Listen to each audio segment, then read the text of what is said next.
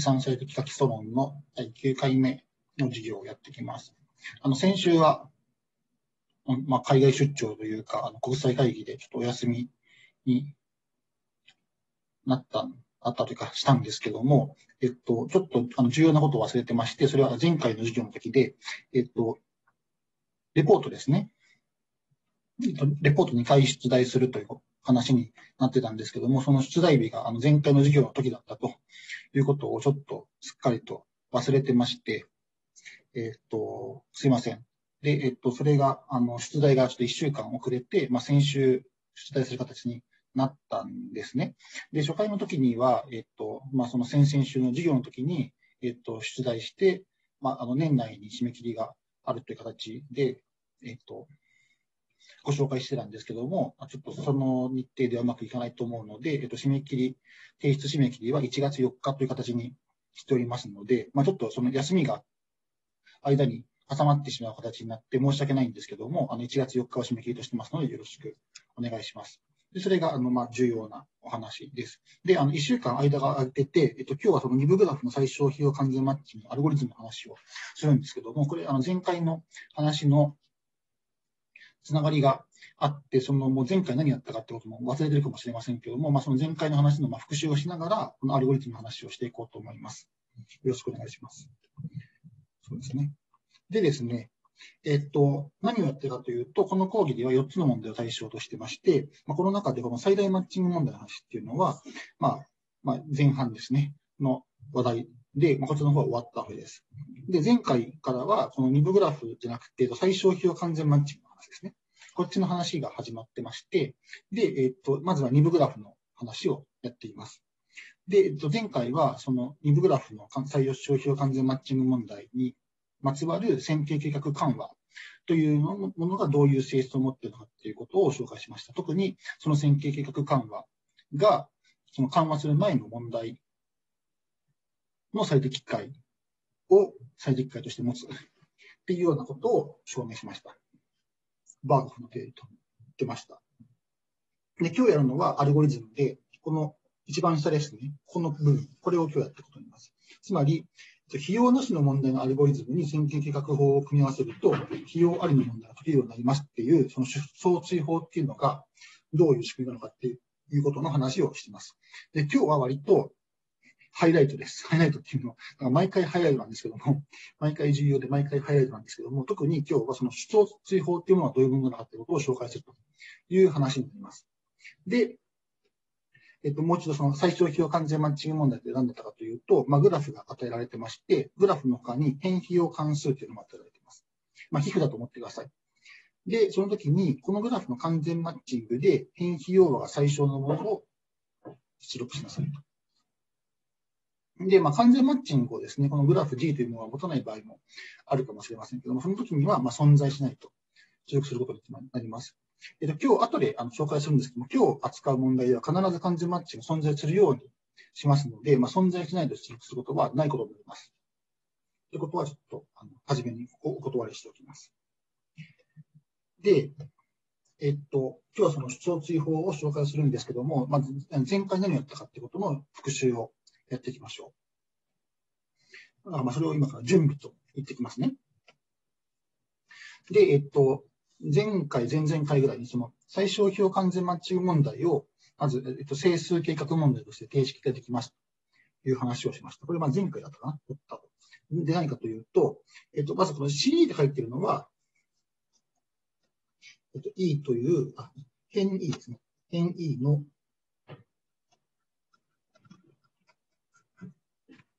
費用だと思ってくださいですね。この、これですね。この、この CE ですね。だと思ってください。で、えっと、CEXE の和を最小化するということになります。で、XE っていうのは0と1の値を取ります。で、これは解釈としては、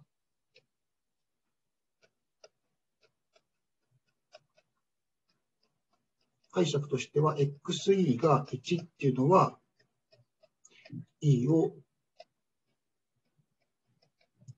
マッチングの辺として選択すると。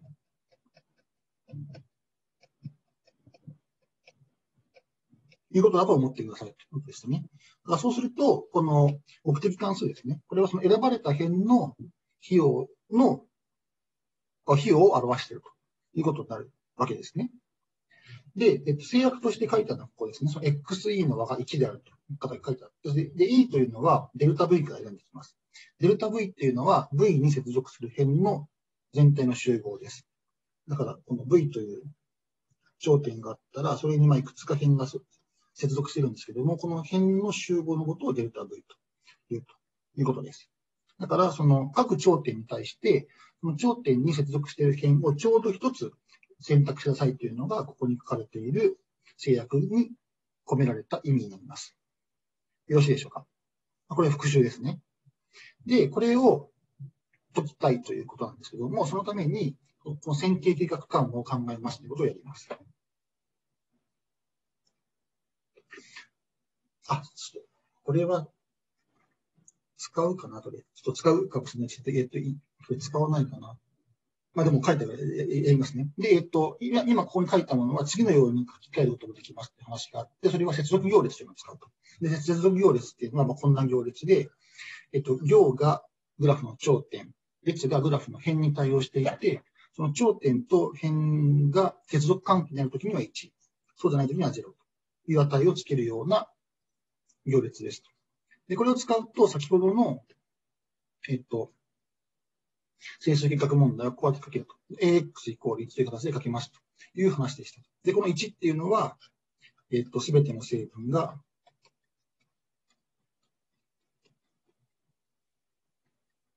1であるベクトルということになりますですね。うんまあ、これ前回ちょっとやったことなので、詳しい、説明を省きます。で、これに対して、えっと、線形計画緩和といったら、先ほどは、この、xy は0か1っていう値しか取れませんよって言っていたんだけども、それを0以上ですよという形に緩和していると。えっと、取り得る値の範囲を広げているようにした問題です。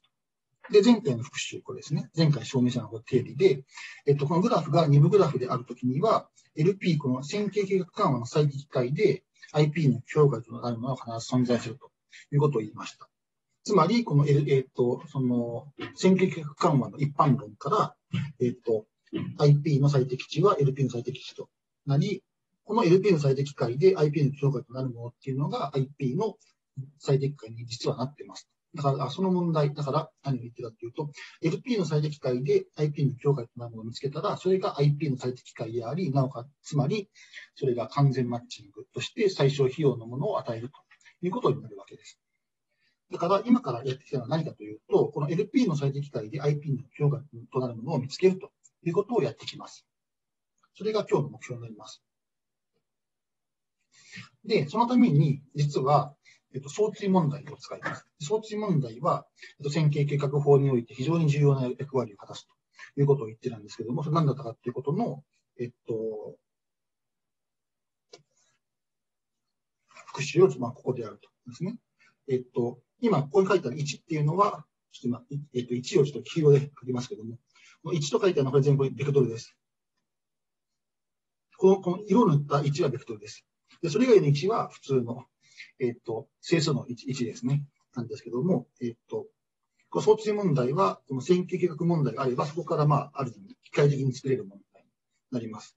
で、何をするのかっていうと、先ほど言った通り、この線形計画緩和、これこれを解くってことをやるんですけども、その解くために、この相対問題、これを使うということをやります。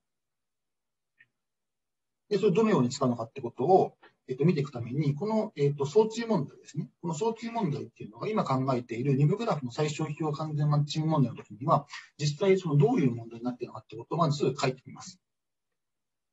あ、すいません。それは準備の後ですね。で、えっと、今からやる主相追法っていうのは、どういうアイデアに基づいて動くアルゴリズムなのかってことを、まず簡単に言います。やりたいのは、この LP という問題を解くことなんですけども、実際に今からやるのは、この LP という問題と DLP という問題、相対問題を同時に解くことをします。同時に解くことをします。これが重要です。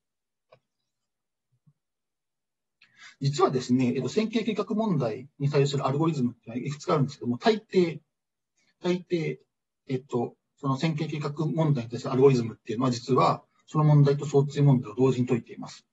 あの単体法っていうのもあるんですけども、単体法っていうのも同時に解いています。で、大体、あの、すべてのアルゴリズムはそういうふうな動きになってます。で、ここでも同じようなことをするということなんですね。で、その時に何をするかってことを、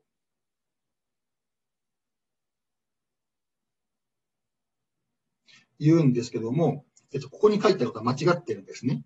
間違ってるんで、すよ。これは、これはかなり間違えましたね。これはかなり間違えてしまって、うんと、言いようがないんですけど、言いようのない間違い方をしていて、ここに書いてあるから間違ってます。ここに書いてあるから間違ってるんで、どうしようかな。えー、っとですね。間違ってますね。間違ってるので、えっと、今、このページに書いてあることは説明しないんですけど、重要なことは何かっていうと、相互性定理っていうのを使います。相互性定理というのを使います。で、まあ、ここ間違ってるんで、えっと、後でスライドは修正しますけども、すいません。なんでこんな間違いを動かしてしまったんだろうというふうに今、えっと、反省をしてるんですけども、ここに書いてあると間違っていて、えっと、ただ、ここに書いてあることのうちに、えっと、ポイント、ポイントはあってんですけど、そのポイントは何かっていうと、相補性定理を使うってことです。で、相補性定理何だったかってことはちょっと復習をしなくちゃいけなくて、それを今からやりますね。すいません。で、相補性定理これです。えっと、今、X というものが LP の最適解、上の方です。の最適解であって、Y っていうのが、この下の方、相対もの最適解であるということが成り立つための必要十分条件は何でしょうっていうのが、相互性定理で与えられます。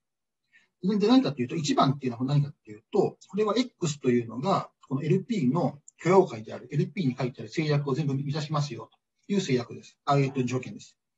で、2番目は何かっていうと、Y というベクトルが、この DLP の許容解である、その制約条件を全て満たします。と言ってる条件です。ただその1番と2番っていうのは、1番は LP の方の条件。で、2番の方は DLP の方の条件ですから、まあ、その LP と DLP に関してバラバラの条件が2つあるわけです。で、ポイントはこの3番目のところで、この3番目のところで X と Y が関係し合うわけですね。それは、まあ、どういうものかっていうと、まあ、形だけ読むと、X 点値かける、かけてください。X 点値 A 点値 Y マイナス C が0である。で、そういう、えっと、式です。で、この0は、これスカラーです。これスカラーの0ですね。内積ですから、これスカラーの0です。で、えっと、この3つの条件の中の、このマットグリンの3番目の条件を相補性条件と呼ぶことがあります。はい。だから何をするかっていうと、この3つの条件を目指すような X と Y を見つけるってことをします。で、その見つけ方を前のページのところで、ここで書きたかったんですけども、ここに書かれている方法でやるわけではないです。やるわけではないです。ちょっと間違えて、これは大胆に間違えましたね。大胆に間違えたので、もう言い訳しようがないです。後で修正します。で、どのようにこの相補性定理使うのかっていうと、まあ、じゃあそもそもこの相補性定理の、この一番下のですね、この相補性条件っていうのが、今我々が解きたいリブグラフの最小費用完全マッチング問題においてどういうものなのかってことをちょっと書いてみます。えっと、今からやりたいのは、2部グラフの最小表完全マッチング問題を解きたいので、そのまあ2部グラフっていうのが、その A、B、E という形で書けるとします。A っていうのが、その左側の頂点集合で、B っていうのが右側の頂点集合で、その間になんか E っていう点の集合がある。こういう形の2部グラフですね。で、そう思うと、えっと、先ほどのこの線形計画感をどうやって書けるかっていうと、この各頂点に対して、その頂点に接続する辺の数がちょうど1であるっていう部分を今、ここでは、この2つの部分に分けて書くことにしました。で、上の方は A について書いてるんですね。上の方は A について書いてて、下の方は B について書いてるという感じで分けました。まあ別にこれ分ける必要ないんだけど、だけども、これ分けておいた方が、後々見やすくなるかもしれないと思って、ふうに書いてます。で、特にですね、下にね、特に完全マッチングに対応する X は LP の境界。対応すると何かっていうと、その完全マッチングで選ばれている辺のところの成分は1にして、そうじゃないところ0にするとという形で X というベクトルを作れるんですけども、そのベクトルっていうのは必ず、この LP の許容解になります。LP の許容解っていうことは、つまりここに書かれている、えっと、制約が全部満たすという形になります。ですね。で、これに対して、えっと、装置問題ある DLP っていうのを作ると、この場合は、えっと、このような形で書けるってことがわかります。これはその上の書き方ですね。上の書き方をそのまんま、えっと、A っていうのが接続行列であるという性質を使って書き換えたものです。で、これどういうことになってるかっていうと、えっと、最大化したいものは何かあるんですけども、この下の条件ですね、制約が重要で何かというと、すべての辺に対して、今、このグラフっていうのは左側に A、右側に B っていう頂点集合があるんですけども、左側から A っていう、スモール A っていう頂点を取ってきて、右側からスモール B っていう頂点を取ってきて、その間が今辺で結ばれているとします。辺で結ばれているとします。で、まず重要なのは何かっていうと、えっと、この相対問題には、えっと、変数がこの y というのがあるんですけども、y という変数の添え字はこのグラフの頂点になっています。だから、この ya とか yb っていうその変数が、この頂点 A と頂点 B にまくっついていると。そのえっと、関連付けられているというふうに思ってください。で、その頂点に、えっと、関連付けられている変数の和が、この辺の費用 CAB 以下ですよっていうのが制約になります。ですか？そういう制約が全ての辺に対してあるというのが、この相対問題の制約になるわけです。いいですか？で、この制約を今後ずっと見ていきます。で、この何ですか？えっ、と、目的関数が今後使えません。なんでかというと、相補性定理で見なくてはいけないのは、この条件だけ、制約だけだからです。だそれだけ見ていきます。いいですか？ここまでいいですか？だからまあ、この制約ですね。この制約が重要です。この制約が重要です。でしょうか。じゃあそうすると、じゃあこのように見たときに、先ほどのこの相互性定理の3つの条件のこの3番目ですね。この3番目はどう書けるかっていうと、えっと、これは、えっと、x 点値と a 点値 y-c の、えっと、内積になっているので、で内積って言うとどういうことかっていうと、まず x。x っていう、えっと、ベクトルの添え字は辺です。x っていうのは、えっと、このグラフの辺を添え字として持ってるわけですね。辺を添え字として持ってるので、この内積、この内積っていうのは、その各辺に対して、X のその辺に対応する成分と A 点違いマイナス C のその辺に対する成分をかけたものの辺に関する割になるわけです。だから、この3番という条件を下のところで書き直すと、辺に関する場になります。で辺は AB です。AB って言ってるのは、先ほどのように2グラフがあって、A を A から取ってきて、B を B から取ってきた、この結ぶ辺ですね。この辺が AB です。この AB です。この AB に関する割になって、X のその辺に対応する成分、A 点値 y のマイナス C のその辺に対応する成分。でそれは先ほどの書き方から ya プラス yb マイナス cab であるということがわかります。ですか、これ前のページですね。この部分がこう書ける。ということから対応します。いいですか？でこう、こう書けます。で、この左辺が0と等しいというのが相補性条件になるわけです。いいですか？いいですか？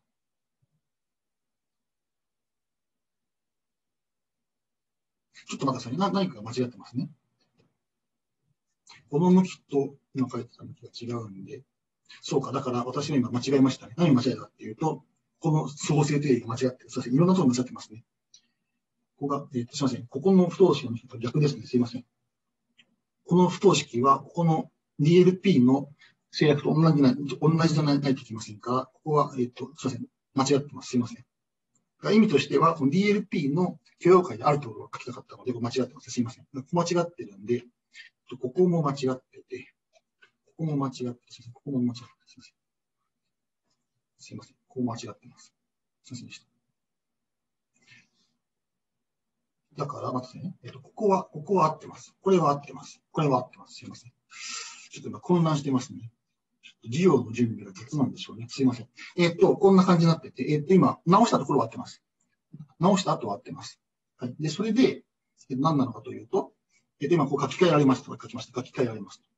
ただこれは、その、どうなってるかっていうと、そのある、あなんか、式があって、その和が0ですよっていうふうに言ってるんですけども、実はですね、この XAB とか、この、これ、えっと、あそうそう。えっと、まずこのこの1番の条件っていうのを X が満たしているとすると、この XAB、これ必ず0以上になります。ですか ?X は0以上だから。ああ、いいですね。X 0以上。一方で、えっと、この YA プラス YB マイナス CAB っていうのは、これは、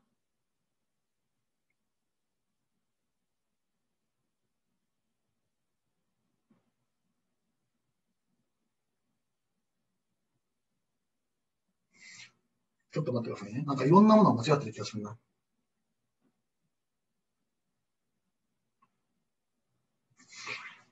いろんなものが間違ってる気がするな。これなんでいろんなものが間違ってるんだろうな。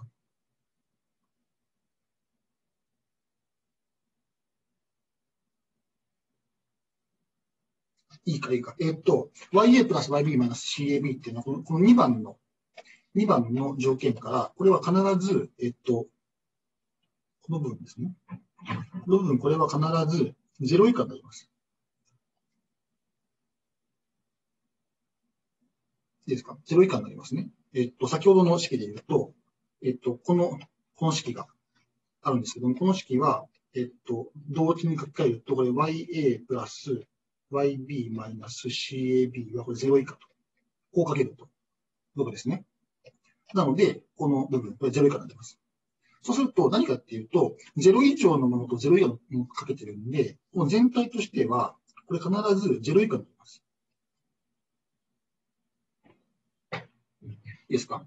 で、0以下のものをたくさん足して0にするってことを言ってるんで、これは何が成り立たないといけないかっていうと、つまり、この XAB かける YA プラス YB マイナス CAB っていうのは、これ必ず0になってる人がいます。どうですか ?0 以下のものをたくさん足して0にしなくちゃいけないから、これすべての、これすべてのものが0になってる必要があります。ですか？ここまでいいですか？そうすると、この一つの式っていうのは、どういうことがにななってないといけないかというと、例えば XAB っていうのが、これが0じゃなかったら、XAB0 じゃなかったら、この後ろ側はこれ必ず0になってる必要があります。これですね。XAB が0よりも大きかったら、後ろ側は必ず0。つまり YA プラス YB は CAB に等しくなってるわけですね。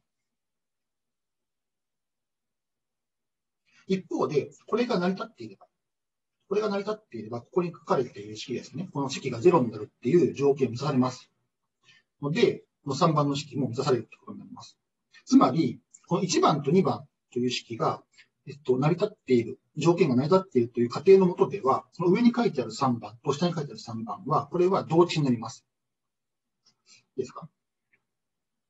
だからそういうことを思って、この下に書いてあるもの、こちらの方を今後はこれ相補性条件であると思うことにしましょう。というふうにみなしましょう。で、なんか相互性条件を満たす、だからこの3番という条件を満たすってことは、この下の条件を満たすことであるというふうにみなして今後は考えていきます。で、その1番と2番と3番の条件を満たすような X と Y を見つけるという問題を今から考えていくという形にします。で、そのためのアルゴリズムを作るということを今からしていきます。いいでしょうか？わかりにくいですね。すみません。いろいろと間違ってたらいけないですね。はい。それで、ここに出てきましたね。じゃあ、思想をすることは何をするのかということを、ちょっとこれは違う色の白にしました。えっと、アルゴリズムの中では、普遍条件というものがあって、この普遍条件を常に満たすようにします。えっと、皆さん、そのアルゴリズム、そうか。まあいいや、いや、で、でこれを満たすようにします。で、まず何かっていうと、X というのは、えっと、必ず01ベクトルであるという形にしています。はい。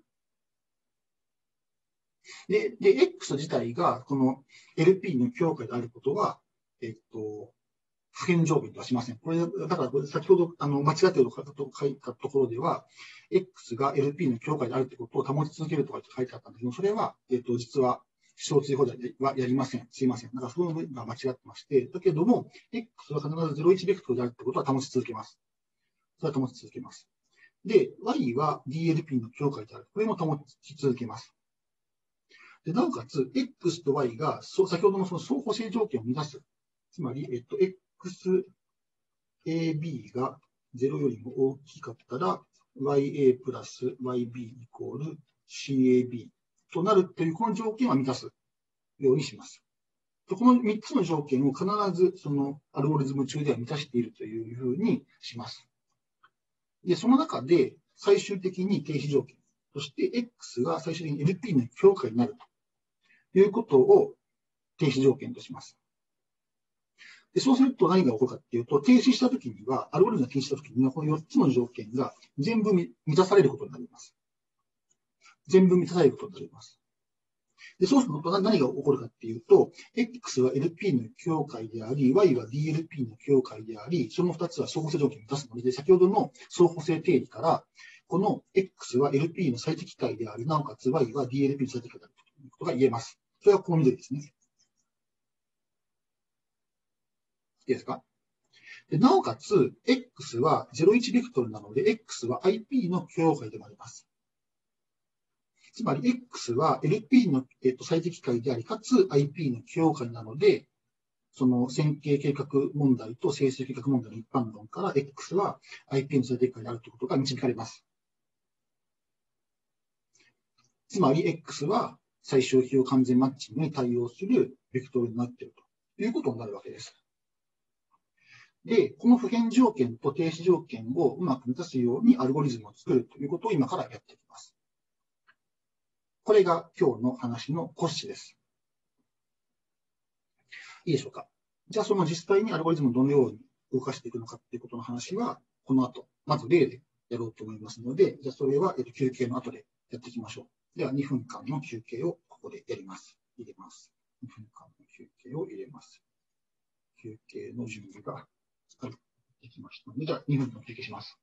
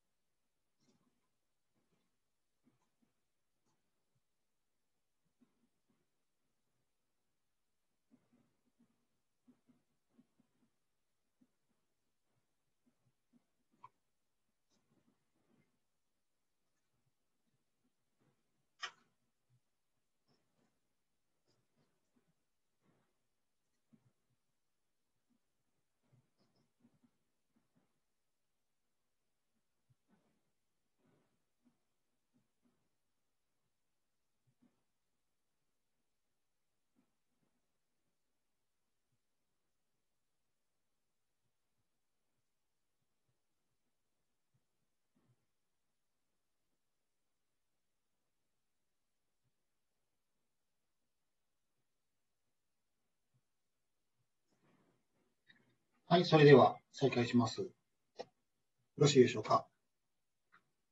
えっと、今言った通り、やっていくのはこの主相注意法に書かれている普遍条件と停止条件を満たすようにアルゴリズムを動かしていくということをすることになるわけです。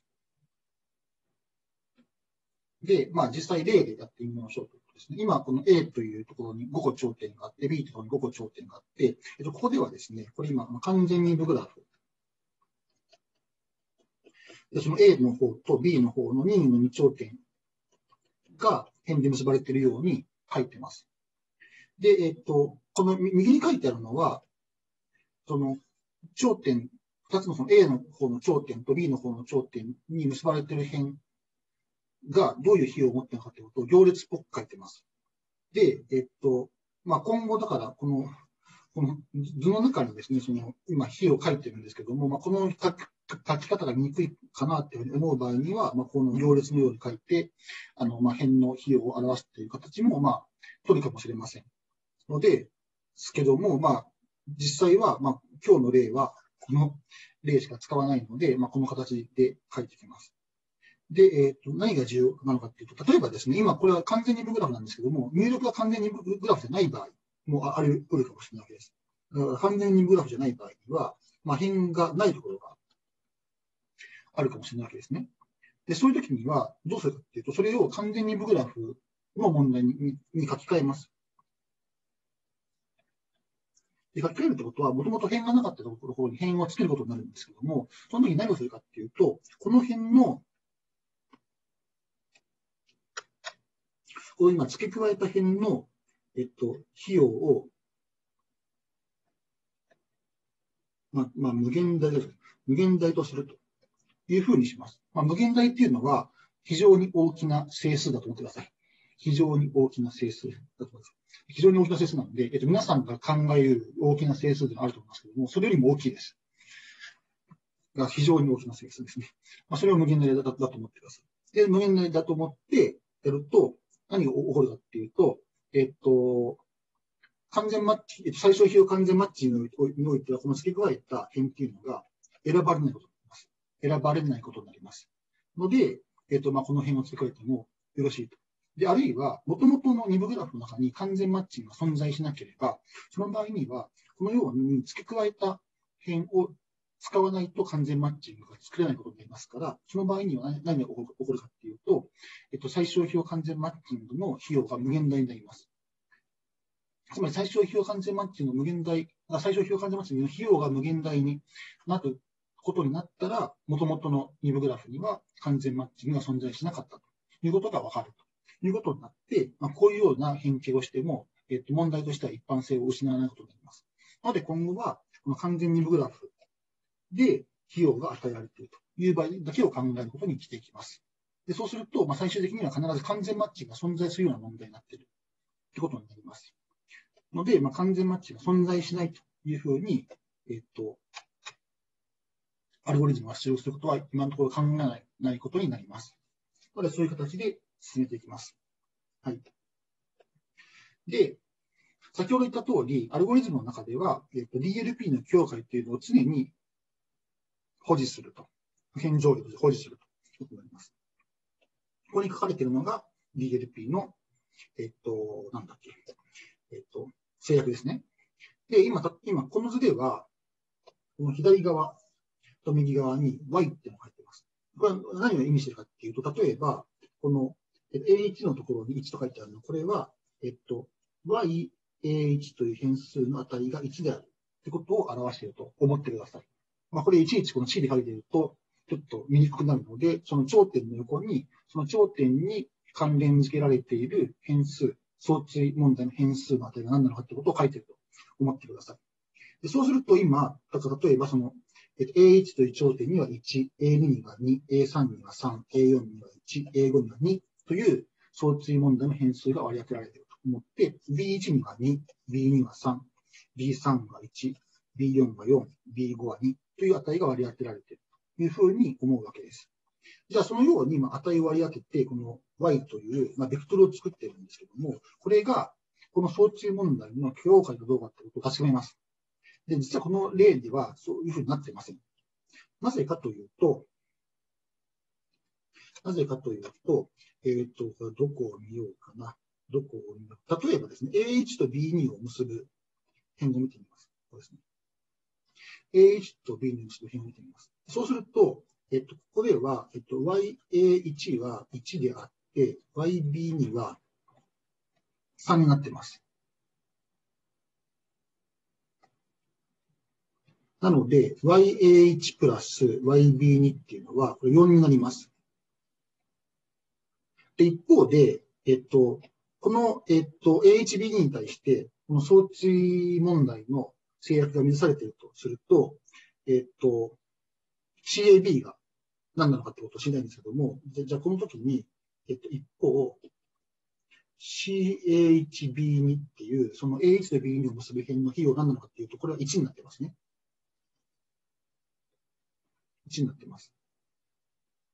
だから、えっと、よって4が1以下という式は満たされないとなります。つまり、この制約、満たされないことになるわけです。だから、ここに今、こういうふうにその y というベクトルを作ったんだけども、これは 2LP の境界ではないと。この y は 2LP の許容界ではないと。じゃあですね、えっと、教会一つ作りたいんですけども、まあ、どうすれば作れるかなとちょっと考えてみますと、えっと、まあ、簡単な作り方があります。それ何かというと、えっと、今、えっと、費用は、この辺の費用は、全部、えっと、皮膚だと仮定しているので、この y として、全部ゼロっていうのを持ってくると、それ必ず教会になります。で、それちょっと地面すぎるんで、もう少し手の込んだ教会を初めに作ろうと思います。で、そのために例えば、えっと、B、B の方は今言ったみたいに全部ゼロにします。ゼロにするんですけども、えっと、A の方はもう少し頑張って、えっと、ゼロじゃない値は割り当てるようにします。で、どうするかっていうと、例えば、えっと、A1 っていうのを見たら、A1 は、えっと、B1 と結ぶ辺の費用が4で、B2 と結ぶ辺の費用が6で、B3 と結ばれた辺の費用6で、B4 とは2で、B3 とは3なんですね。で、この中で一番小さな値を取ってきます。この場合だから1ですね。1っていうのを取ってきます。で、この1っていうのを A1 に割り当てる相対変数の値とします。今これ1ですね。で、そうすると、この今考えた5つの辺に対応するこの制約が必ず満たされるわけです。一番小さな値を取ってきてますから。で、で同じことを、えっと、A2 や A3 や A4 や A5 にも行います。何が同じかっていうと、A2 を見たら、A2 から B1 に向かってる辺の、えっと、費用は5で、B2 に向かってる辺の費用0で、B3 に向かってる辺の費用3で、B4 に向かってる辺の費用7で、B5 に向かってる辺の費用6ですね。で、この中の一番小さいのを取っています。で、自体の方0ですから、0にすると。こんな感じですね。で、こうすると、こうすると、必ず、えっと、A2 に接続する辺の上での制約にされます。より一般的に書くと、これですね。任にも、えっと、A 側の頂点、スモール a に対して、YA っていうのは、その、えっと、A と B が辺であるような B に対する CAB という費用の最小値を取ってで、そうすると、このようにして作られた y っていうのは必ず、えっと、DLP の許容価になります。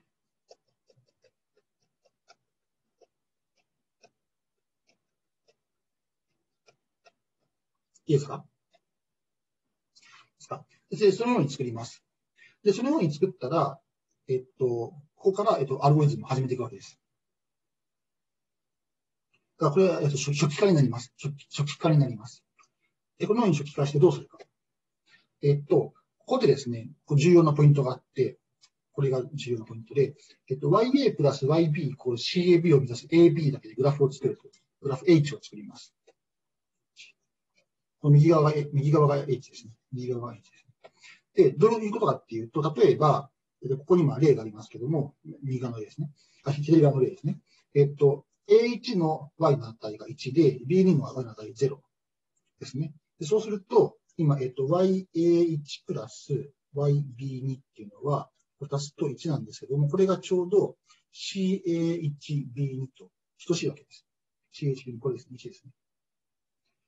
なので、それ、この統合が満たされているところ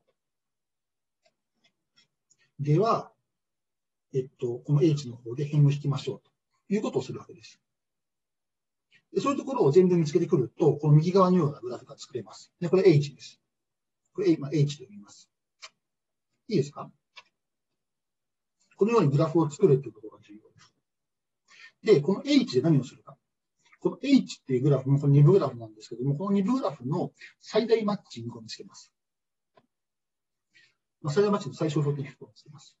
最大マッチングはどのように見つけるのかということは第3回の講義で、まあ、増加同法っていうのをやったんですけども、まあ、そういう方法を使って見つけてもらえばいいです。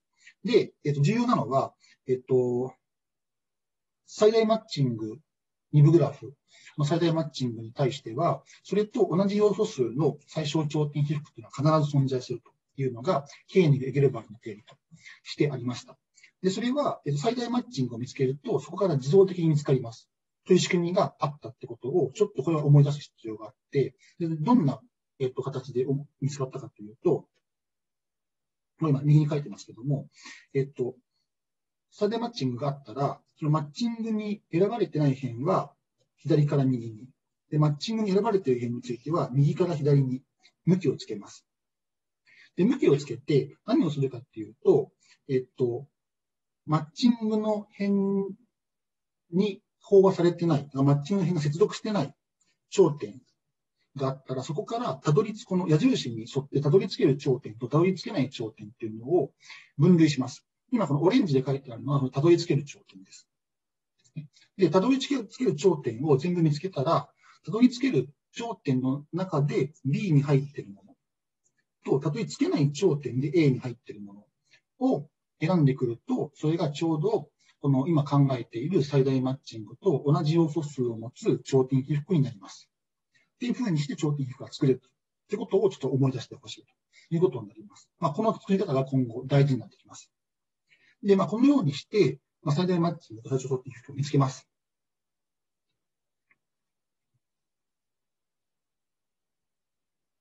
あ、小追法では見つけます。で、見つけたらどうするか。今ですね、この、えっ、と、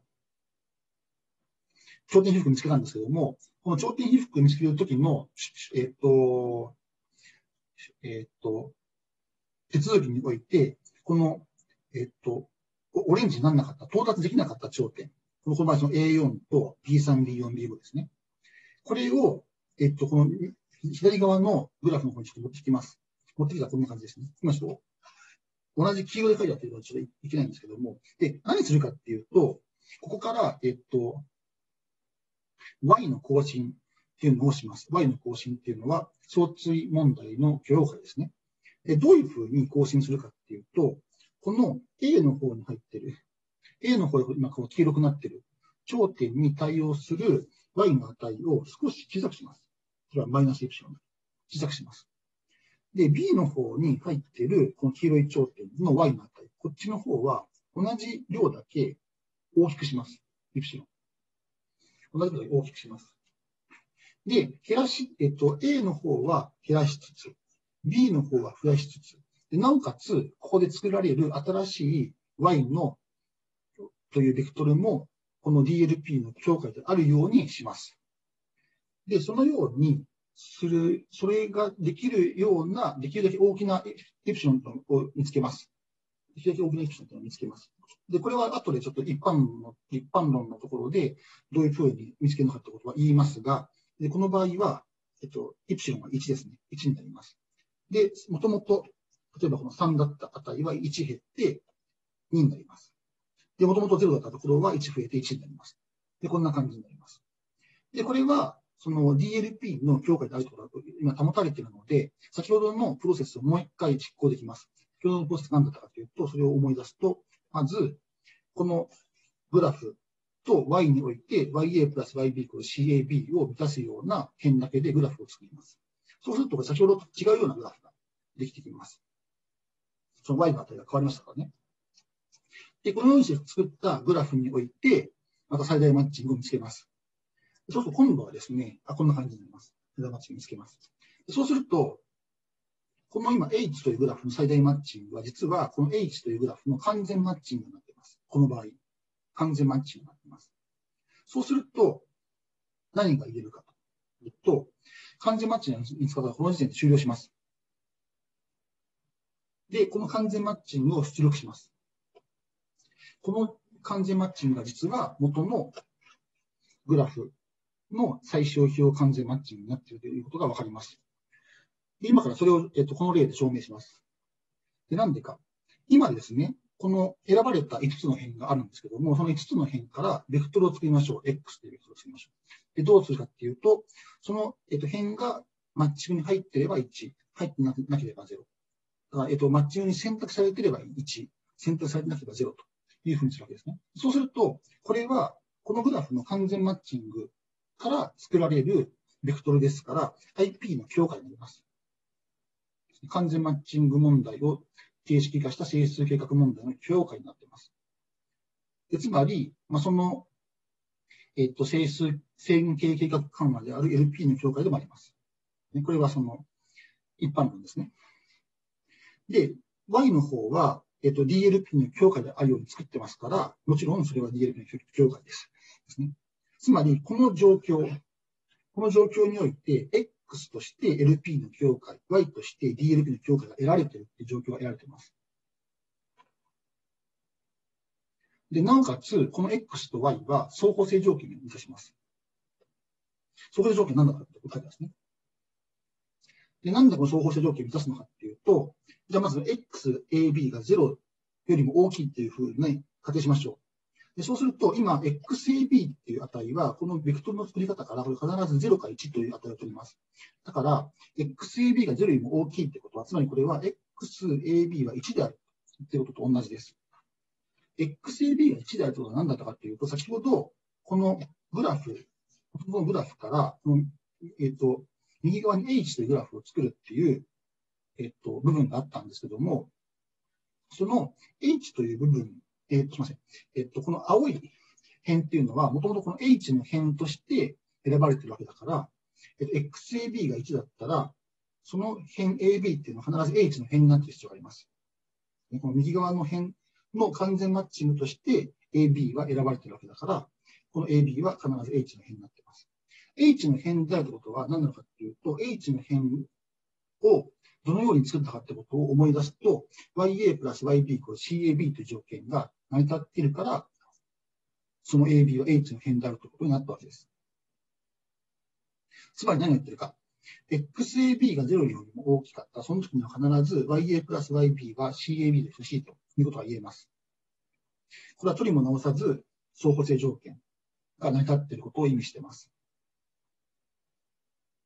つまり、X は LP の境界であり、Y は DLP の境界であり、なおかつその2つは相補条件とします。つまり相補性定理から X は LP の最適解です。なおかつ X の値は0、1しか取ってませんから IP の境界でもあり、つまり IP の最適解として X でやりました。つまり X は最小費用完全マッチングに対応するベクトルになっていますということが、ここで結論付けられるわけです。よろしいですか？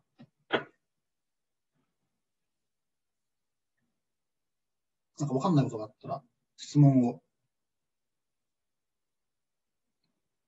今からやっていくのは、これを一般的に記述するということと、計算量の解析をするということです。よろしいでしょうか？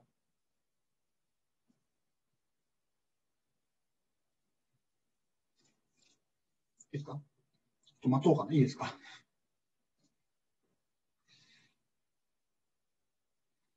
では、今からですね、この、えっと、例でやったことを一般的なアルゴリズムとして記述していきます。書いていきます。で、それは一般論です。はい。じゃあ、えっと、アルゴリズムを今から書いていくんですけども、先ほどやった例のことを念頭に置いて理解してください。まず初期化をします。初期化をします。初期化っていうのは何だったかというと、えっと、B の方の頂点に対しては、えっと、Y の値は0にして、A の方の値に対して、AA の方に対しては、えっ、と、それに接続する辺の費用の最小値を取ってくるということをします。ですね。で、そこから2部グラフを作ります。その Y を使って2部グラフを作ります。で、どうやって作るかっていうと、えっと、元々のグラフの辺の中で YA プラス YB イコール CAB になるようなところだけを取ってきます。という形で E' という辺集合を作ります。ちょっと色が悪いな。緑ばっかりで。っていうのを作ります。で、A と B って頂点集合は変わりません。同じです。で、それをやったら、この Y という、あれ H という二部グラフの最大マッチングを計算します。これは第3回でやったような、まあ、増加合法であるとか、ホップロフトカープのアルゴリズムを使ってもらえればよいということになります。で、この計算した最大マッチングが完全マッチングになれば、それでおしまいになります。そうじゃなかったら、Y を更新します。これ次のページです。で、このようにやります。で、先ほど言った、その、できるだけ大きくイプシロンを選んで、えっと、Y が、えっと、DLP の境界であるようにしたいっていうためのイプシロンのエレベがこうなります。これはちょっといろいろと計算するとこうなっていることがわかります。これちょっと後で説明しますが、こうなります。で、こういうふうにして、えっと、その A の方からその矢印をつけてたどり着けなかったところ、たどり着けなかったところは、A の側ではその Y の値をイプシロン減らして、B の側ではイプシロン増やすということにします。という形で Y を更新します。で、実際このように Y を更新すると、この Y が、えっと、DLP の強化のままである。その性質が保たれるということを後で説明します。証明します。で、これを行ってステップ2に戻ります。ステップ2ってのは何かっていうと、戻りますね。この2部グラフを作るというところに戻ります。という形で、えっと、Y を更新して、H を作り直して、M を計算し直してってことを繰り返す。ってことを行うっていうのが、この主層追放のアルゴリズムになります。ですか？で、これはですね、あの、まあ、歴史的な事情から、あの、ハンガリー法と呼ばれることもあったりします。その、あの、ケーニング・エゲルバーリの定理ってありましたけども、あの、ケーニングエゲルバーリもハンガリー人で、そのハンガリー人の行った研究から着想を得て、えっと、このアルゴリズムが生まれているので、ハンガリー法と呼ばれたり。ハンガリー法っていうんですか、ハンガリアンだからハンガリー人法なのかもしれないけども、まあ、あの、日本語ではハンガリー法と呼ばれます。今から、このアルゴリズムについて証明したいことは2つあります。まず1つは、このアルゴリズムを必ず停止するということです。まあ、停止しなければ最終的に何も得られませんから、停止するということを証明したいんですけど、特に多項式時間で停止します。停止することだけを証明するのが割と簡単なんですけども、多項式時間で停止するということを証明するのはちょっと難しいです。で、まあ、ちゃんとこの授業の時間内でやりたいなと思ってます。まあ、やりたかったらまたあの補足として、あの、別の動画を上げることにしますけども、まあ、やりたい、やるつもりでいます。やるつもりでいます。はい。で、もう一つは、このアルゴリズムが停止したとき、停止したんだったら、その出力は、えっと、最小表完全マッチングになるってことを証明します。M は最小表完全マッチングであり、Y の方は DLP 最適化になるということを証明します。でこれは先ほどの例で紹介したことを一般的にやるということになります。なので、えっと、まず、えっと、その下の方が多分流れとしては、えっと、証明しやすいと思うので、下の方の話からやっていきます。いいでしょうか？で、その下の方の証明をするために、一個お題が欲しくて、それは何かっていうと、まず、停止した時の Y が DLP の許容解であるということまで証明します。許容解です。先ほどのその更新規則があったんですけども、それでちゃんとその許容性が保たれるということを証明します。それが答え A です。主層追放の実行中、常に Y は DLP の許容解です。で、DLP ここ書いてますね。許容解であることしか見ませんから、この制約だけに注目します。で証明の流れがありますね。初期化でまず許容解が得られるってことを言います。で、もう一つ、更新において、もともとの Y が許容解だったら、更新後も許容解であるということを証明します。で、この二つでやっていきます。では、まず初期化の話をします。初期化どうやってやったかというと、これですね。で、え、っと、これを見てみると、じゃあ、え、っと、AB という、じゃあ、辺に着目しましょうと。その時に、YA プラス YB というのを見てみると、えっと、この、えっと、えっ、と、y の決め方から、ya っていうのは、その a と、から出てる辺の、えっ、と、費用の最小値であって、えっ、と、yb はこれ0です。ですね。だから、この、えっ、と、式が出しますね。でそう、それでは、えっ、と、この最小値っていうのは、この、この b' プライムの選び方の中で一番小さいものを選んでくるんで、それを一つ b と置き換えてしまえば、それは最小のものと、その一つの具体的な選び方の値を比べるだけなので、最小値の方が具体的な値以下ですよという形で不等式が得られます。で、これは、この書かれている式っていうのは、その許容解であるための条件、制約とそのまま等しいので、つまり初期解、初期化の直後においては、y は DLP の許容解であるということが言えます。よろしいでしょうか？いいですか？じゃあその更新の方をやっていきます。で更新の方なんですけども、えっと、更新の前と更新の後で同じ y っていう記号を使うとややこしいので、更新した後の方のものは y プライムと書くことにします。だから、証明したのは何かっていうと、更新する前の y が DLP の境界だったら、更新した後の y プライムも DLP の境界であるということを証明したいということになります。なので、まあ、それに合わせて、この y の更新式を、あと y と y プライムを書いて書き換えます。とまあ、こんな感じになります。いいですね。で、えー、っと、だから、その更新した後は y プライムですね。で、ちょっと上の方、あの、わかりづらいんですけども、あの、同じ A と B を使うとまだわかりにくいので、A の方も A プライム、B プライムと書いてます。ただ、このプライムがつく位置が微妙なんですけども、それちょっと注意してください。で、もう一個注意は何かっていうと、今は、えっ、と、y 自身は許容解であるということを仮定しています。y は許容解であるということを仮定してますから、このイプシロンとして選ばれる値っていうのは必ず0以上になります。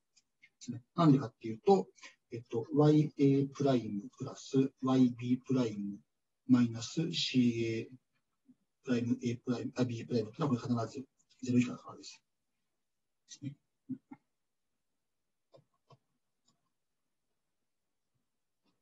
すね。で、えっ、と、この y が許容解であるときに y プライムが許容解であるということを証明したいんですけども、そのために4つ倍分けがあります。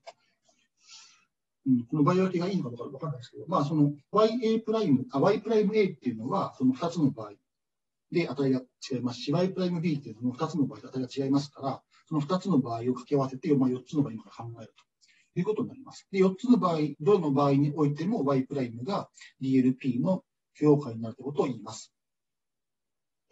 でまず1番目の場合ですけども、そのこの,、えー、とこの時には y プライム a と y プライム b がこのように、えー、と更新されていることを今こう書いておきます。書きました。でそうすると、先ほど言った通り、えっ、ー、と、イプシロンっていうのはこれ0以上ですから、これそのまんま計算すると、えっと、ya、y'a が ya マイナスイプシロンで、y'b が yb になります。で、イプシロンは0以上だから、これは ya プラス yb 以下になって、ya プラス yb が、あ、ya と yb が、えっと、DLP の境界だったから、それは、えっと、CAB 以下になるという形になって、この場合の証明終わります。いいですか？いいですか？で、同じようなことをやっていきます。えっと、この、この場合ですね、2番目の場合、この場合は、えっと、y プライム a が ya マイナスイプシロンで、y プライム b が yb プラスイプシロンです。ただこれ置き換えると、イプシロンがこれ消えますから、ya プラス yb にそのままなって、これは仮定から CAB 以下になります。ですか？で、3つ目の場合は、これは、えっと、y プライム a と y プライム b が ya、yb と同じ場合ですね。その場合は、もうそのまま CAB 以下になります。で、残った場合が、一番難しくて何かっていうと、これは、y プライム a プラス y プライム b が ya プラス yb プラスイプシロンになる場合です。そうすると、イプシロンだけ増えてるので、しかもイプシロン0以上ですから、えっと、この ya プラス yb プラスイプシロンは CAB を超えてしまうかもしれないですね。そのイプシロンを不注意に選ぶと。しかし、ここで、えっと、選んだようなイプシロンの作り方をすると、だからイプシロンはミンなんとかかんとかになるわけです。ですね。でそうすると、ここで今その A プライムと B プライムっていうのがあるんですけども、これともに A-C、B-C から選ばれていて、この場合の A と B の選び方、その選んでくる集合が同じなんですね。だから、この A プライム、B プライムとして特に A と B を選ぶと、この最小値はその特別に選んだ場合の値以下になるということがわかります。あとは、この最終的に得られた式を整理すると CAB が得られて、つまり証明したかった不等式が得られるということになって、この4つの場合、どの場合でも欲しかった不等式が得られて証明が終わるということになります。よろしいでしょうか？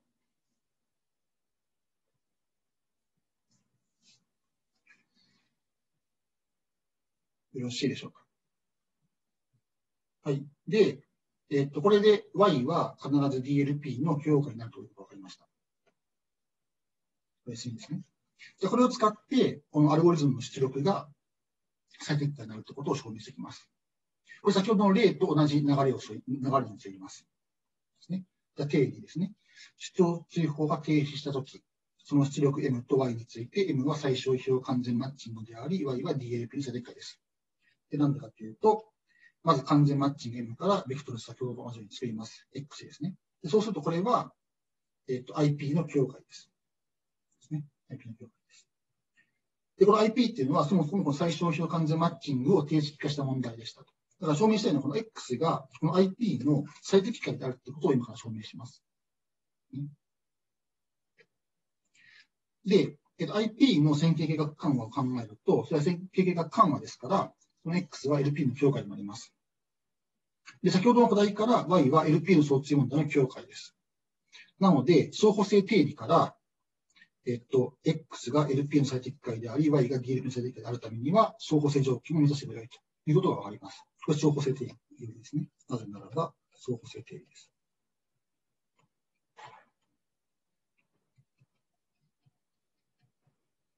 相補性条件は下に書いてある通りですね。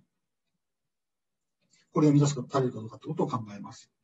そうすると、X の構成法から XAB は必ず0か1なので、この XAB が0よりも大きいっていう条件は XAB が1であるという条件に書き換えられます。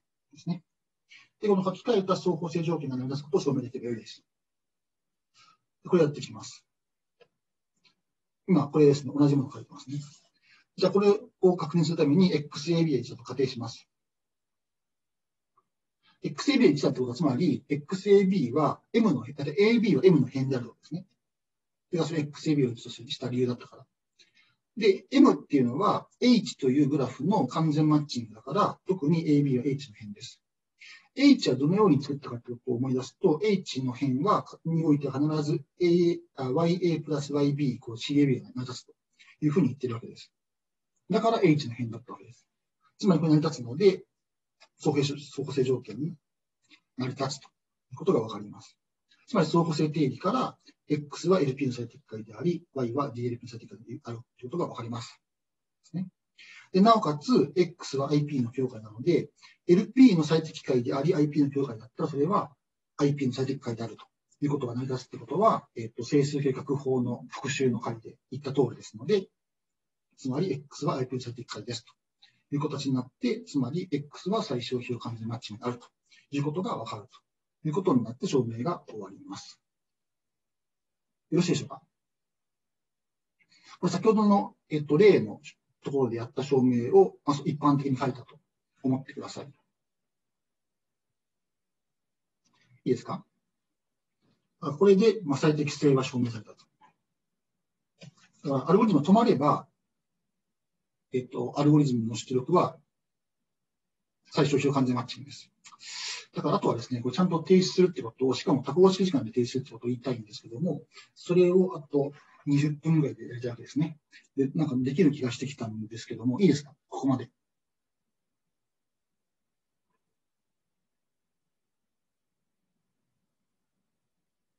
はい。ではですね、えっと、今からやるのは、主張追放の計算量です。二部グラフの最小費用完全マッチングアルゴリズム、あ、日本語は二部グラフの最小費用完全マッチング問題に対する主張追放は多項式時間アルゴリズムです。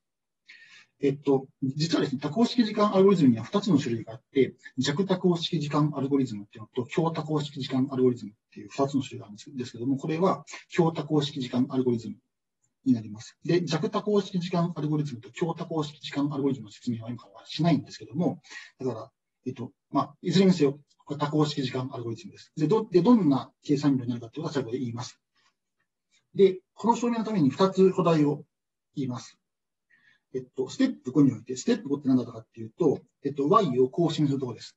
y を更新するところで現れるイプシロンっていうのは、先ほど0以上だと言いましたけど、これ実は必ず正になります。正になります。で、もう一個。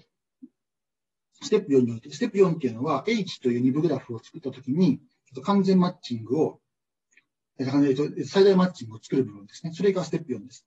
でそこでは、えっと、毎回毎回最大マッチングを作るんですけども、その最大マッチングの要素数は増加するか、増加しないんだったら、B と C の共通部分の素数が増加します。C っていうのは M から作られる、えっと、頂点寄付ですね。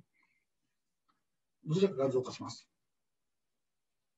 で、この二つを証明することで、えっと、まあ、この二つというか、その、初めの方は、この、あの、二番目の方を証明するために、証明するために使うんですけども、えっと、この二番目の方から直ちに計算量が出てきます。ということも最後に説明します。じゃあやっていきますね。じゃまず、補題 B、エプシロンが忘れてること。主導追放のステップ5において、必ずイプシロンは0よりも大きいことになります。で、イプシロンはこのように決めてました。ここ今から書いてますね。だから証明するのは何かっていうと、あ、これ簡単に書いてますね。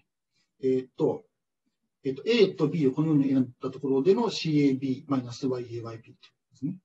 これはなんか4行ぐらいで終わってますね。もう少し長く証明すると思いましたけども、だからこれは図を書きたいんだけども、これ図はあないですね。これ図を書く自分で書かなきゃいけないですね。そういうふうにしたのか。じゃあ、えっと、これ証明していきます。このエプシロンが正であると証明します。そうすると、この H っていうグラフがどんな感じになってるかと、これ書く必要があって、これ H っていうグラフがあったら、えっと、左側に A があって、ちょっと A の場所が悪いですね。左側に A があって、右側に B があって、こういう感じなんですね。で、えっと、その部分の、えっと、一部分は、さっきの書き方すると、えっと、下の方が C で、B の上の方が C。こんな感じ。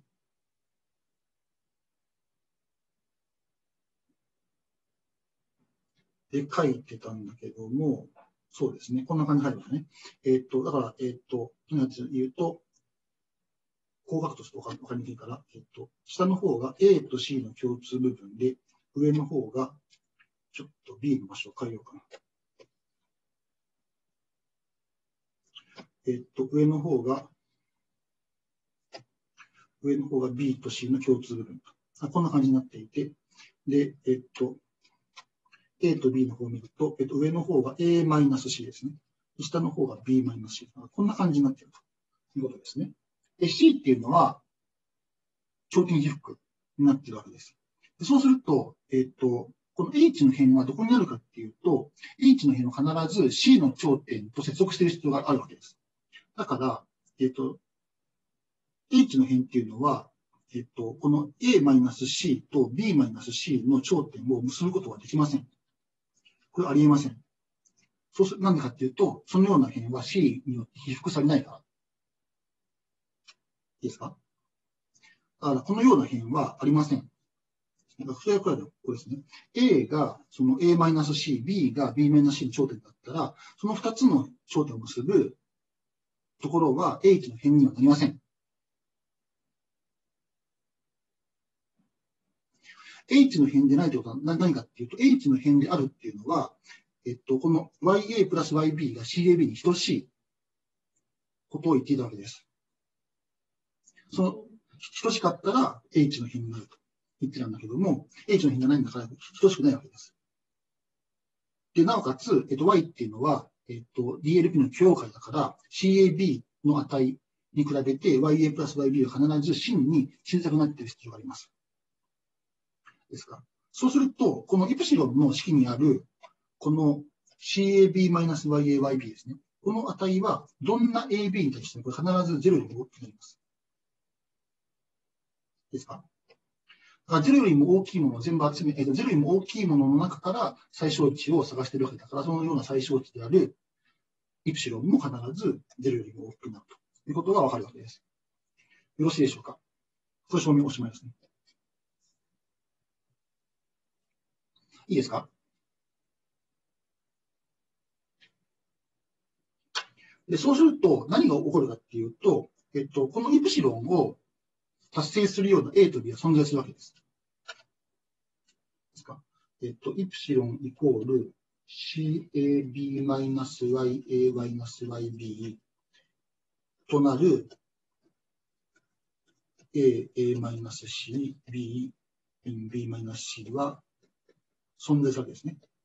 もちろん、その最小値取ってきますから、その最小値を達成するような A と B を持ってくると、その A と B に対して、その CAB-YA-YB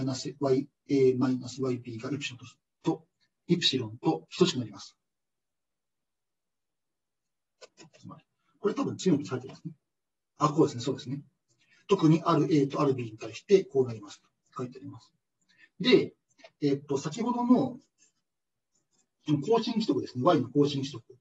A の方が A-C と、えっと、A と C で、こっちが B、C で、えっと、B-C と。なんかこういうふうになっていたら、えっと、何をしたかというと、だからこの、この、特に、あ、この今言っている、この、ある A と B っていうのは、ここら辺に A があって、ここら辺に B があるんですよね。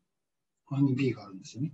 で、そうすると、えっと、何が起こるかっていうと、えっと、その、えっと、Y を更新するときに、まあ何を考えていたかっていうと、この A と C の共通部分に入っている頂点に対しては、えっと、値をイプシロン減らしました。で、えっと、B-C に入っている頂点に対しては値をイプシロンだけ増やしました。ということをするわけです。で、そうすると、今、この A と B の間にある辺っていうのは H にはもともと入ってなかったんですけども、この更新した後どうなるかっていうと、更新した後じゃあその y'' A プラス y' B と書くと、この値は、えっと、y、えっと、A の方の値は変わらず ya のままで、B の方の値は yb プラスイプシロンになるわけです。ですか？で、このイプシロンは今、この CAB マイナス YA マイナス YB と等しいから、そのまま計算すると YA プラス YB プラス CAB マイナス YA マイナス YB になります。で、これはイコール CAB です。こうなります。つまり何が言いたいかっていうと、更新した後、更新した後に新しく H っていう二部グラフを作るときには、この AB の間には必ず辺が引かれることになります。いいですか？この性質後で使います。この性質後で使います。いいですか？だからこのある AB に対して、このイプシロンイコール CAB-YAYB になるんですけども、この、この A と B の間には、次のターンの H において必ず変が引かれます。重要な性質になります。いいでしょうか？で、これが古代 B で、じゃあ古代 C をやりますね。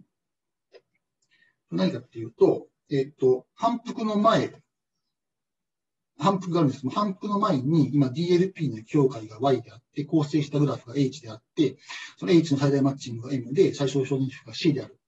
で、この M が最大、この M という最大マッチングが完全マッチングでなかったら、えっ、と、Y を更新して、また次の、あの、反復に行くんですけども、その次の反復における Y、H、M、C のことを、このプライムのつけて書くことにします。そうすると、ここに書いてあるどちらかがね、出すいうとが言えます。何かというと、この最大マッチング M と M プライムを比べると、M プライムの方が予想数が大きくなるっていう場合があります。で、そうじゃない場合、M と M プライムの予想数が同じ場合、その場合には、この M プライムとして M を選べます。だからこの下の場合っていうのは、えっと、えっと、M と M プライムの予想数が等しい場合なんですけども、その時には、もう初めから、えっと、M、M プライムは M だったと思って構いません。で、そう思うと、そう思うと、この C と C プライムの間に関係が得られます。何かというと、C と B の予想、えっと、共通部分の予想数は、C プライムと B の共通部分の予想数未満になります。この二つのうちのどちらかが成り立つとは言えます。で、これをやっていきます。で、えっ、ー、と、この課題の証明はちょっと大変なので、まずイメージをお伝えしますね。今、更新前の A と B、えっ、ー、と、H と、えっ、ー、と、C があります。この黄色い頂点が C です。ですね。で、更新をするんですけども、更新をすると何が起こるかというと、先ほど言っていた、この A と B の間に、この辺が増えるわけです。この赤い辺がこう増えることが起きるわけです。更新の後では。でそうすると、この図の場合どうなってるかっていうと、この元々あった、この青い辺、これ元々あった青い辺、これ M ですね。M に赤い辺を付け加えると、これもこの H プライムのマッチになってます。つまり、えっと、H プライムの最大マッチングの要素数は H の最大マッチングの要素数よりも大きくなることが起きます。でそれが、この M の要素数が M の M プライムの要素数未満になる場合に起こることです。今は、この AB という付け加えた辺そのものが、えっと、H プライムの最大マッチングの辺として選ばれてますけども、えっと、そうならないかもしれません。えっと、もしかしたら、この AB の辺を使って、えっと、H プライムの最大マッチングを増加させることができる。つまりその AB を使った、えっと、増加度が見つかるっていうパターンもあり得ます。でそうだったとしても、その場合には M プライムの素数の方が M の素数よりも大きくなるということが起きます。で、問題はですね、この AB の結ぶこの辺を付け加えても、増加度が増えない場合があります。増加度ができない場合があります。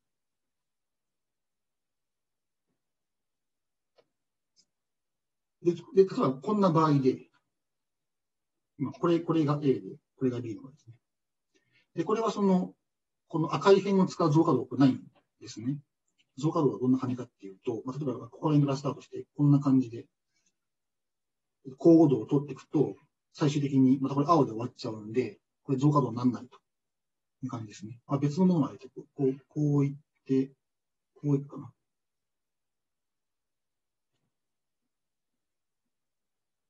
で、こういって、あ、これはいけないな。しまってください。あ、今ちょっと今間違えました。間違えた。今間違えたんで、何でもないです。何でもないです。今のは、えっと、えっと、増加度でも何でもなく、えっと、交互度でもなかったので、すみません、嘘で、えっと、つまり何を言いたかったかっていうと、この赤い辺を使う増加度がない場合ですね。で、この時にはどうなってるかっていうと、えっと、この、えっと、A の方からたどり着ける、たどり着くことができる焦点の集合が変わります。で、こんな感じで変わるわけです。こんな感じで変わります。で、そうすると、この B の方で黄色に選ばれている頂点の数が、元々のよりも増えるわけです。だからこれですね。えっと、B と C の共通部分の要素数。これ今、えっと、この例の場合は、えっと、3ですけども、それが、えっと、右側のところのこの B の黄色い要素数。この場合4ですけどね。となって、えっと、更新した後、後増えるという形になる。という、このどちらかが起きます。まあ、何だったかっていうと、この付け加えた辺が、辺を使った増加度ができないときには、えっと、右側で、えっと、たどり着ける頂点の数が増えるという形になります。ってことを今から一般的に証明していきます。いいでしょうか？これをやっていきます。でまずですね、えっと、この、えっと、小追法でどのように、えっと、変が更新されたかってことを言うんですけども、まずですね、えっと、そうか、えっと、そうか、これは何でやるんだろうな。えっと、えっとですね、今ですね、この H っていう方の、まあ、グラフを見てみると、H っていうグラフの中のどこら辺に変があるかっていうと、えっと、先ほど、先ほど、その、古代 B を証明するときに言ったように、この上と、上、左上と右下を結ぶような辺っていうのはないんですね。これはその、あの、頂点被覆によって被覆されないから。だから、えっと、辺があるとすると、この上同士を結ぶか、えっと、右上と左下を結ぶか、えっと、左下と右下を結ぶかっていう、まあ、この3つの場合しかないわけです。で、3つの場合しかないんだけども、それが、じゃあ、この H プライムにおいてどのように、えっ、と、更新されるかということを考えます。で、まずは、この斜めの辺ですね。これを考えるんですけども、つまり、A が A と C の共通部分、B が B と C の共通部分に入っている場合ですね。両方とその、両端点が黄色い場合です。で、その場合は、更新した後を見てみると、更新した後見てみると、更新した後見てみると、えっと、左下の部分は y の値がマイナスイプシロンされます。で、右上の部分は変わりません。ので、y'' a プラス y'' b っていうのは必ず CAB 未満になります。イプシロンが正だから。古代 B からですね。ってことは何かっていうと、H' においては、この更新した後においては、えっと、y'' a プラス y'' b っていうのは CAB と等しくなります。だから、このもともと H において、斜めに入ってきた辺というのは、H プライムにおいては全部消えます。全部消えます。H プライムの辺ではなくなります。いいですか？まあ、そういう形になっています。一方で、この横向きの辺ですね。これは全部残ります。なんでかっていうと、上の方の辺っていうのは、この y の値これ変わりませんから残りますし、右の方の辺っていうのも、この左端でマイナスイプシロンして、右端でイプシロン増える。ここですね。左側はマイナスイプシロンをして、右側はプラスイプシロンをするってことになってるんで、この辺の両端点における y の値の和っていうのは変わりません、更新後も。だから、この、えっと、この、左同士、右同士を結ぶ辺っていうのは、えっと、あり続けますし、もともとなかったところに辺が増えることもありません。っていうのはここに書いてありますね。えっと、ここは、これは、この場合はどこを見てるかっていうと、えっと、ここですね。このような辺は残り続けます。残り続けますし、もともと辺がなかったところは、もともと、次の更新差とも辺がないままになるということが、まあ、簡単な計算からわかります。で、同じ計算は、えっと、上の部分でも言えて、ここですね。もともと辺があったところは辺があるし、もともと辺がなかったところは辺がないという形になるということが言えます。そうすると、何がわかるかというと、これによって、えっと、あ、これ、これによってじゃなくてですね。で、ここでもう一つ重要なポイントがあって、何何かというと、H の中で最大マッチングとして選ばれた M の辺があったら、それは、えっと、この H' プライムに残り続けます。なぜか。というと、その M の辺においては、えっと、必ずその A の方の頂点が A-C に入っていて、B の方の頂点が B-C に入っている。どちらかが成立する必要があるからです。なぜか。じゃあ、えっと、このえっと、後ろの方の条件ですね。B が B-C に入ってないと仮定しましょう。でそうすると B は B と C の共通部分に入っているということになります。ただここですね。ここに入っているということになります。で、これは M の辺に接続する辺ですから、このこの青い辺のような M の辺が存在することがわかるわけです。で、もしこの仮にこの M のような、えっと、辺が下の方ですね。下の方にこう出ていっていくとすると、これまずいことが起きて何かっていうと、えっと、この青い辺っていうのは、その、到達できるかできないかっていうことの向き付けにおいては、えっと、右から左に向き付けられるような辺になっていたわけです。でそうすると、この B っていうのはもともと A から到達できる頂点だったので、この、えっと、その向かい側にあるその M の辺を通って向かい側にある頂点っていうのも、A から、えっと、ラージ A からたどり着けることになってしまいます。そうすると、えっと、それは、その、たどり着いたところの頂点が、えっと、A と C の共通部分に入ってしまうことになってしまって、えっと、あ、え、すみません、えっと、じゃなくて、えっと、そうすると、それがこの、あの、オレンジの部分に入っていないことに矛盾します。矛盾します。だから絶対、この青い辺っていうのの行き先っていうのは、必ず、えっと、たどたどり着ける頂点になってるわけですから、それは、えっと、A-C の頂点になるということが言えるとということになるわけです。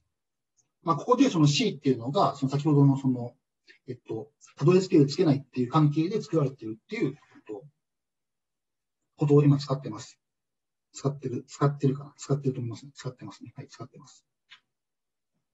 で、えっ、と、そういうことなので、必ず、えっ、と、マッチングの辺に対しては、その、A-C か B-C に単点を持つということがわかります。だから単点を持つ場所っていうのは、今、書いてみると A-C なんで、この部分。この部分が B-C なんで、この部分。に必ず単点を持つということがわかります。でそうすると、それは、この、えっと、平行なものであるか、えっと、ですね。だからこの、横を結ぶような点に必ずなってますから、それは H プライムの中で必ずこ残っている辺になっているということがわかるわけです。つまり、えっと、M の辺っていうのは、どれも H プライムの辺として残ります。だから、この M というのは、もともと H の完全マッチ、えっと、最大マッチングとして選ばれていたんだけども、それは H プライムのマッチングでもあり続けます。これが重要ですね。H プライムのマッチングでもあり続けます。ということなので、何が言えるかというと、えっと、H プライムの最大マッチングの要素数は M の要素数以上になります。M が H プライムのマッチングですから、それよりも大きな要素数のマッチングが H プライムあるかもしれません。まあ、ないかもしれないですね。で、今、M プライムっていうのは H プライムの最大マッチングをしてましたから、M プライムの要素数は M の要素数以上になります。で、ここで2つの場合があって、1つの場合は M プライムの要素数が M の要素数よりも大きい場合っていうのと、えっ、と、M プライムの要素数が M の要素数と大きい場合っていう2つの場合があります。で、初めの方は、これは示したかったことになります。示したかったことっていうのは、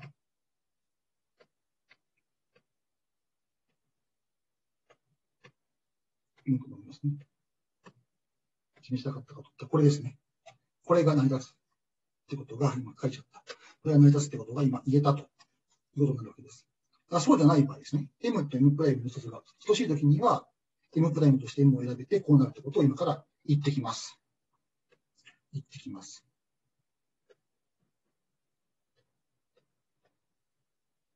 ですね。じゃあ、その M プライムと M の素数が等しいと仮定します。でそうすると、M は H プライムのマッチングだったので、まあ、M プライムを M と選んで、この M プライムを最大マッチングができます。H プライムを最大マッチングができます。ですね、でそうしたら、さらに H において到達可能である頂点は H プライムに到達可能ですと。なんでかっていうと、ここのその、これですね、この、この部分に、その、えっと、入っている辺っていうのは、H でも H プライムでも、えっと、保たれるわけなので、その保たれるってことを使うと、えっと、H において到達できた頂点っていうのは H プライムでも到達到達できるということになります。ですね。でなおかつ、先ほど言った通り、この、えっと、A の左上から B の右下に行くような、えっと、辺っていうのが必ず H プライムでは増えます。先ほどの古代 B の補足のところで言ったことからわかります。でそうすると、今、この、この増えた辺の観点である B ですね。こっち側。こっち側には、その A の方からたどり着けることになるわけです。つまり、H の方において B から、H プライムにおいては B に、何で言ってんの ?H プライムにおいては A からたどり着ける頂点の数が B において増えます。だからここの部分ですね。ここの部分も、えっと、たどり着ける頂点になるわけです。ということで、そのたどり着ける頂点の数ですね、B においては、H プライムにおいて、その数が、えっと、A に、H における数よりも必ず大きくなるということが言えるということになるわけです。先ほどの例で言った通りのことを、えっと、一般的に示しているということになります。これで証明が終わりになります。いいですか？すみません。ちょっとなんか最後、もたつきましたけどね。こんな感じで証明できます。じゃあちょっと、ちょっと伸びちゃってすいませんけども、あと2分ぐらいで最後のこの古代 C を使った、えっと、計算量解析をやります。えっと、古代 C から何がわかるかっていうと、えっと、その H というグラフを作ったときに得られる M という最大マッチングの要素数と、えっと、B と C の共通分の要素数っていうのを、この表に書いていくことにします。で例えば、初めの反復において、それがえっと、M の要素数が1で、B と C の共通分の要素数が1であるということが起きたら、それをここにその印をつけましょうということでつけます。で、じゃあ次の反復にいただきます。で次の反復では、古代 C から次の反復では、この M の値は同じままで、B と C の共通分の素数が大きくなるか、あるいは M の要素数が大きくなるかのどちらかが起きます。でそうすると、その軌跡をたどっていくと、こんな感じで、どんどんどんどん、その点が打たれていって、このそれをなんか矢印でたどっていくような形で、アルゴリズムの反復の様子が記述できるわけです。で、このアルゴリズムはどこに行くと最終的に終わるかっていうと、この一番下の段ですね。M という最大マッチの要素数が A や B の要素数と同じになったときに、その M は完全マッチになりますから、そうすると、このアルゴリズムが提出するわけです。